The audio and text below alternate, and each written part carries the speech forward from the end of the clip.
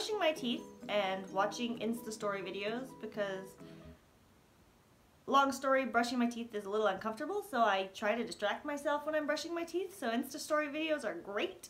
And I was watching the suggested feeds for videos I might like because I am very into health and fitness. Um, so it was recommending a bunch of these workout girl videos. And I watched, you know, a few of them while I brushed my teeth and, you know, they're pretty good. I don't know if I'll ever do those types of videos, but I still wanted to talk about how important uh, health and fitness really is. And I talk about food a lot, but I don't talk about exercise. And exercise is really important to your body. And if you have a sedentary lifestyle where you're not moving around at all, your body's going to start to fall apart. Just think of it like the astronauts in space, how they go up into space and their muscles atrophy because they're not using their muscles because they have less gravity it's the same thing where if you are never using your muscles, your body is going to start to atrophy and weaken because it's going to not need those muscles anymore and you're going to lose muscle mass. So exercise is really important.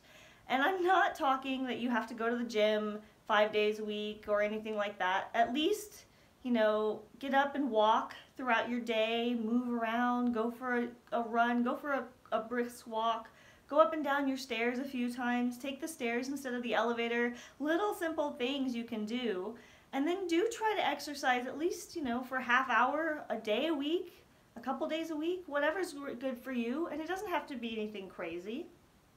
It could be yoga. It could be, you know, a, a quick run. It could be anything, but you do need to use all the muscles in your body at least once in a while. Otherwise, before you know it, you're not going to have them anymore. Uh, so fitness is really, really important. And honestly, anytime I am done with a workout, I feel so amazing. Sometimes motivating myself to get going is not the easiest, uh, but it's always worth it in the end.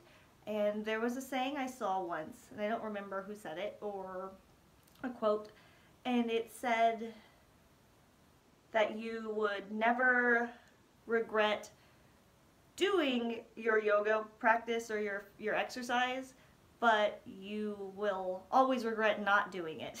And I like that. I use that other places in my life too. Like, am I going to regret doing this or am I to regret not doing this? That's a good question to ask yourself about. Lots of things.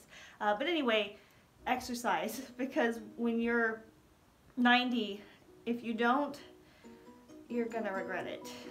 Alrighty guys, you have a good week.